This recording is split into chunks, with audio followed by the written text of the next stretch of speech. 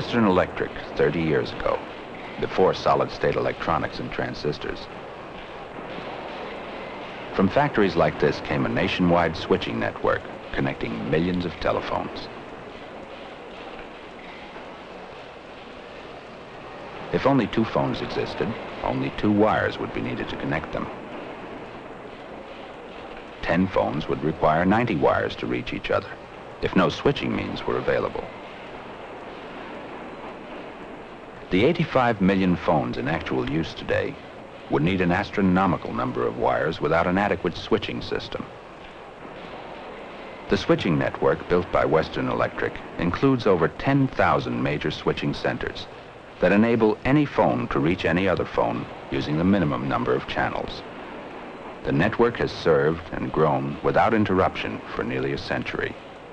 New products and techniques have kept it up to date, always working.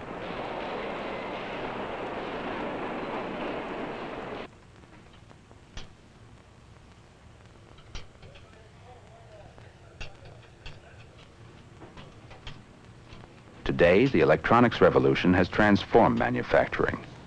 New kinds of challenges confront communications scientists and engineers. To make today's components, they must probe matter more deeply. To solve problems of material characteristics, to deal with temperatures from 200 degrees below to 2,000 degrees above zero Fahrenheit. They must create new materials and shape them on a molecular scale. This requires new tools, new processing techniques, an entirely new manufacturing environment.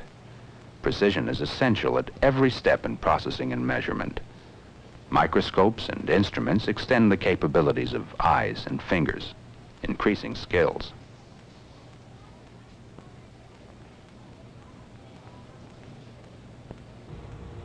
Atmosphere must be controlled, from tremendous pressures to a high vacuum previously found only in space and dirt and dust must be excluded. Sometimes light and color must be controlled.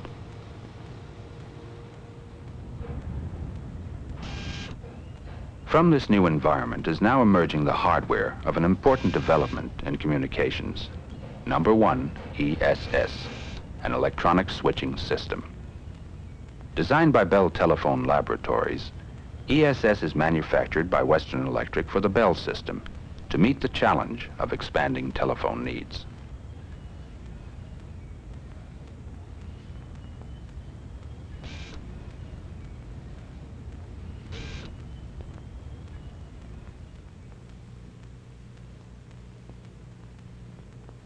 ESS represents a radical advance in making telephone connections.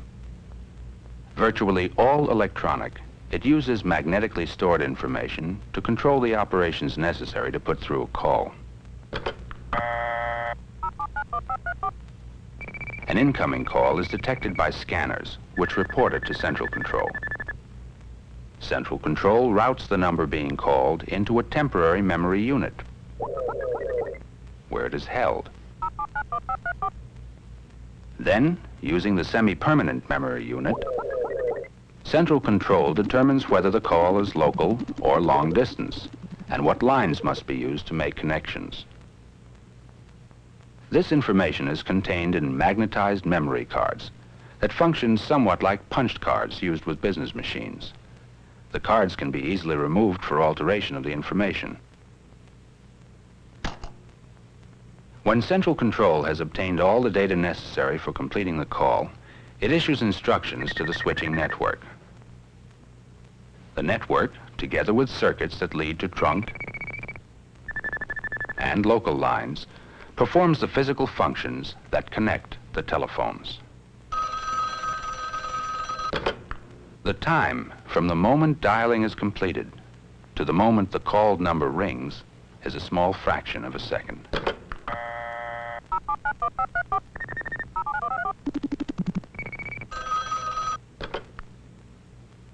ESS offers uniquely flexible, convenient service. It can transfer your calls to another phone when you're away from your own. If you're busy talking, it can automatically signal you that another call is trying to reach you. It can set up conference calls. And dialing just a few digits will connect you to numbers you call frequently.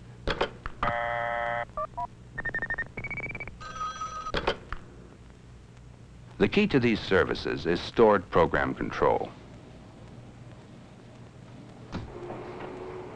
Part of this control system is the semi-permanent memory unit, called a twistor module.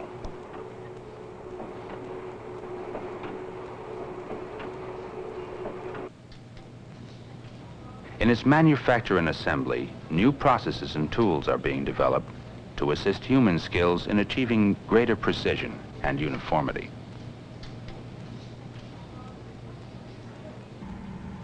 Access to information stored on the memory cards is provided by special twistor wire. To make this wire, a thin permalloy tape is wrapped in a spiral around a small copper wire, thinner than hair, at 12,000 revolutions per minute.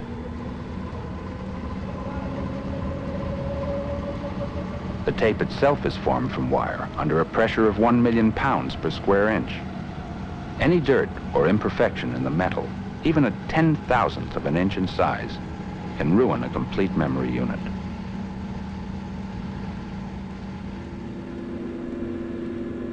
Forty-five twistor wires, along with accompanying conductor wires, are embedded by heat between two mylar polyethylene belts.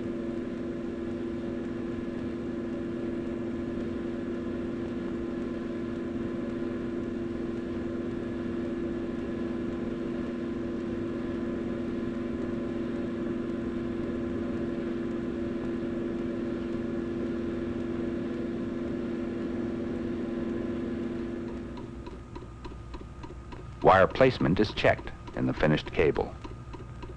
During the early years of manufacture, electrical test records were kept on every thousandth of an inch of twistor wire, allowing a check on later performance.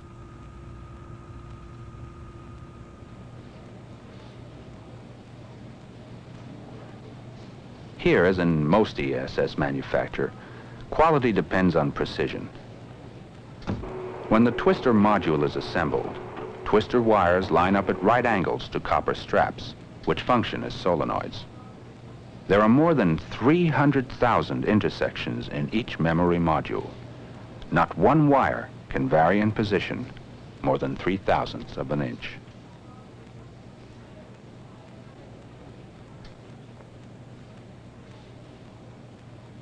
A typical ESS program store includes 16 wired modules with a capacity of nearly 6 million information bits.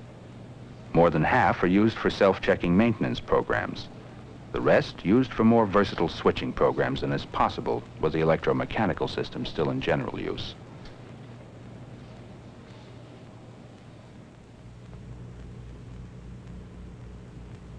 Another high production component, the sealed contact. This is the basic element of the ferreed switch that performs line switching functions in ESS. Millions of such contacts will be needed every year.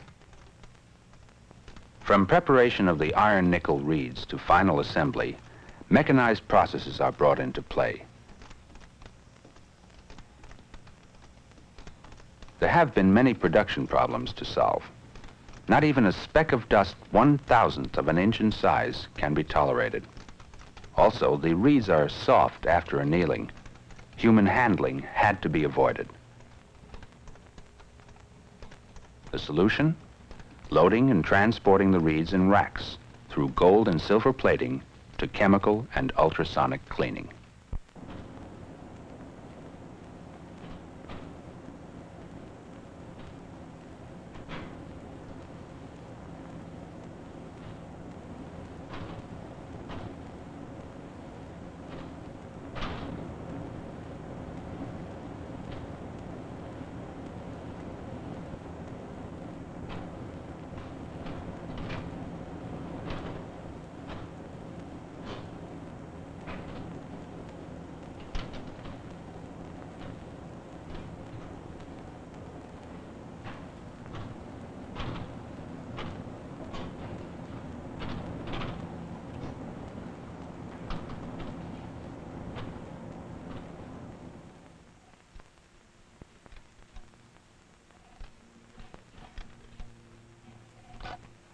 Pair of reeds are sealed under pressure in a small glass capsule.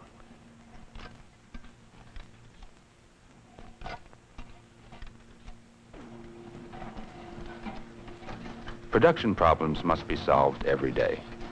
For example, unstable contact resistance. Its causes were not fully understood, especially in the early stage of manufacture. But the facts leading to a solution are coming from constant research and testing.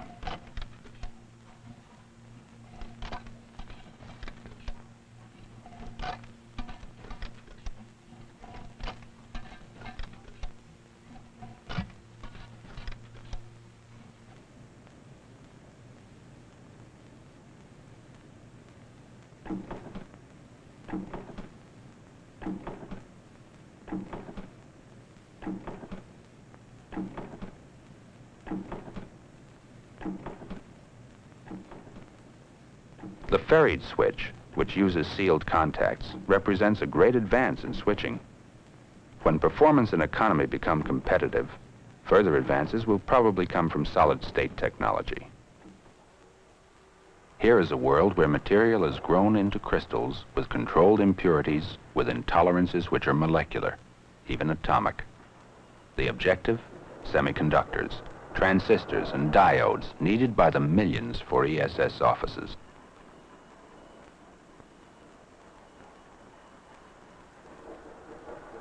Bell Laboratories' invention of the transistor and its later work in semiconductors made the basic concept of electronic switching a practicality.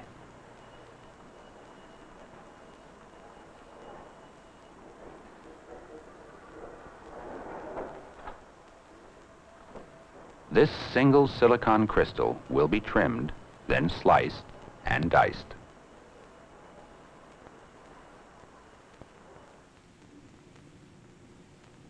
These slices have been cleaned in a liquid by means of ultrasonic energy. A special technique, called epitaxial deposition, involves the growing of molecular layers in an oven to extend the originally grown crystal structure of the silicon slices.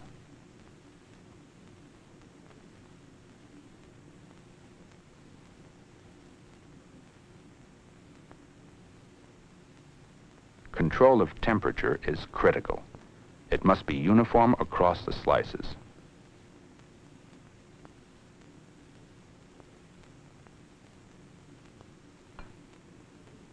Materials such as boron and phosphorus are diffused into the silicon to provide desired electronic characteristics. This diffusion is measured in parts per billion.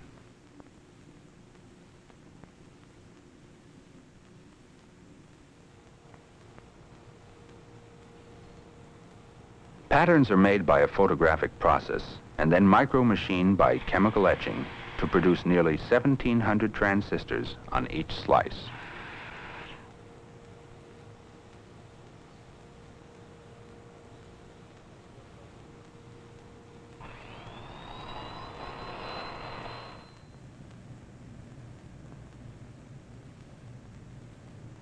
Testing and measuring are continuous for resistivity for thickness.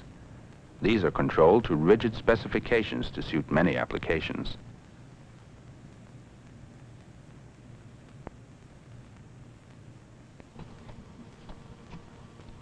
Hundreds of solid-state components nearly ready for cutting.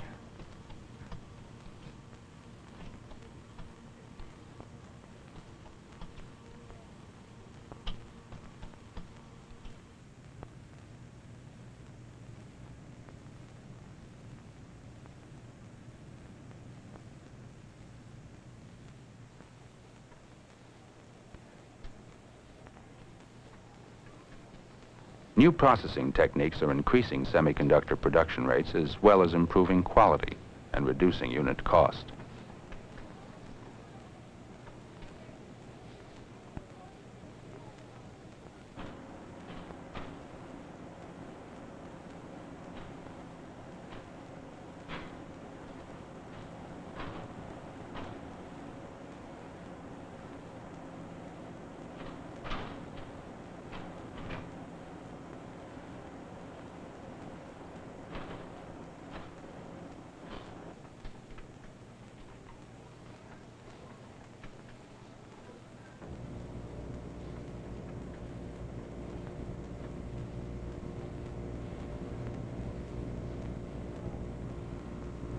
As solid-state manufacture becomes increasingly sub-miniaturized, problems multiply.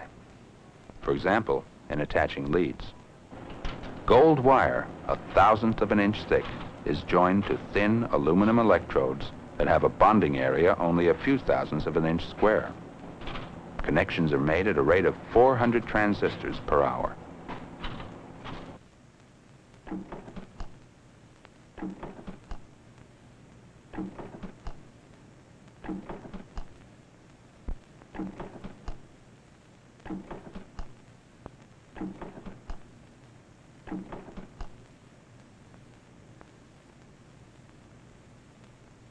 Semiconductors must meet reliability and performance requirements matched only in missile and space technology.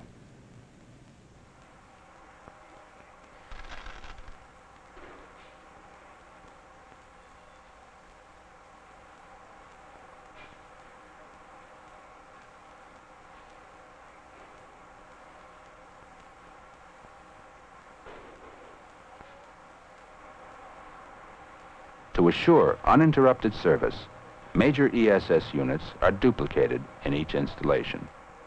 Alternate routing is accomplished in microseconds. There is a continuing challenge. Increase the production rate of ESS units to reduce costs and at the same time improve unit quality. The challenge can be met by improving design and manufacturing techniques. In the case of the ferreed switch assembly, a newly developed concept makes it possible to wind 64 coils in one continuous operation. Mechanized processes such as this are expected to increase ESS frame production at a very rapid rate within the next decade. There are many specific manufacturing challenges. Operations such as wiring the ferrite memory module depend on human skills supplemented by training and expert supervision.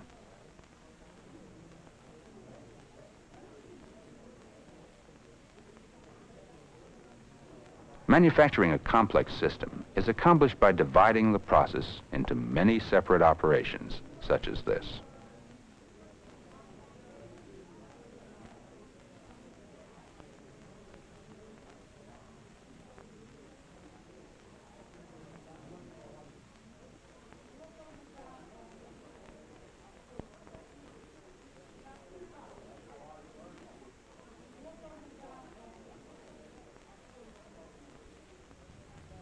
Intricate yet compact circuits allow ESS to check itself continuously, report a change in component performance that may lead to failure, and direct replacement of the suspected unit.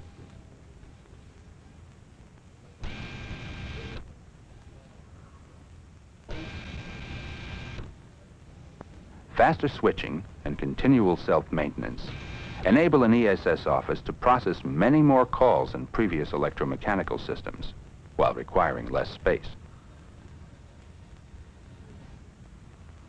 Somewhat like a teaching machine, a wiring assist device uses punch tape, which causes a sequence of lights to direct the operator's work.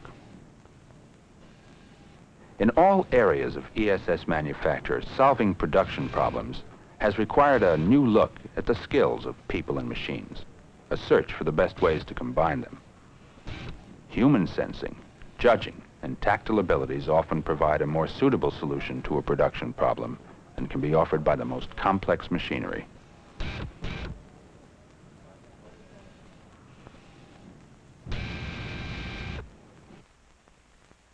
ESS units are designed for a minimum of interconnections at the final installation, so that most of the wiring and much of the detailed testing can be done at the factory.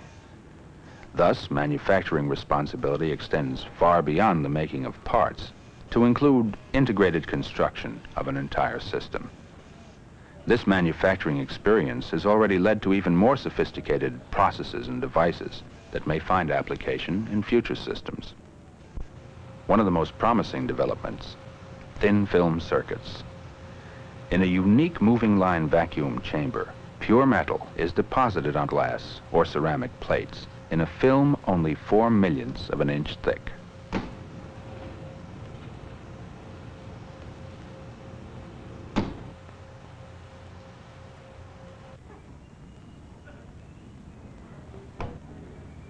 Using an emulsion sensitive to ultraviolet light, photoresist processes generate circuit patterns.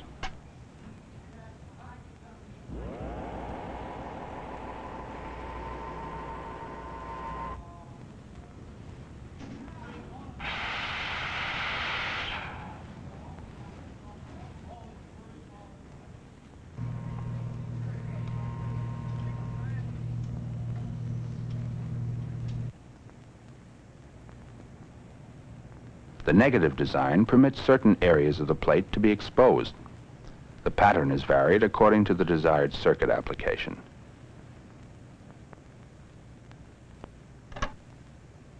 The exposed area is etched off.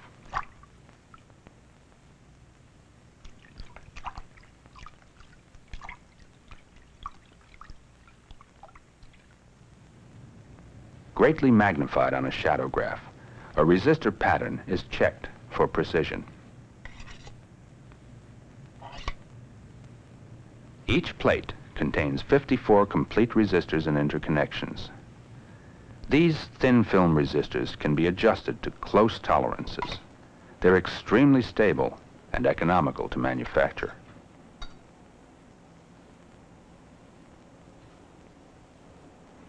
Contact areas for leads are deposited by a sputtering process.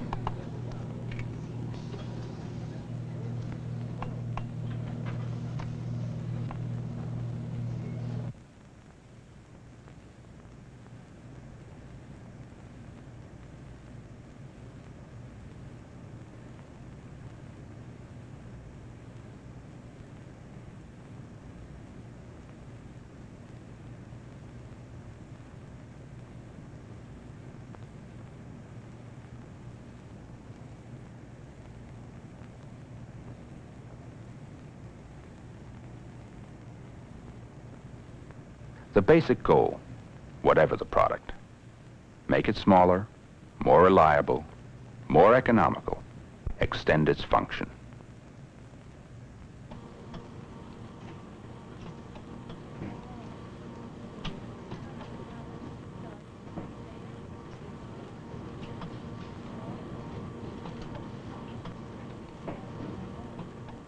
Beam lead and multiple chip circuits are a step toward fully integrated circuits grown into a single block of semiconductor materials.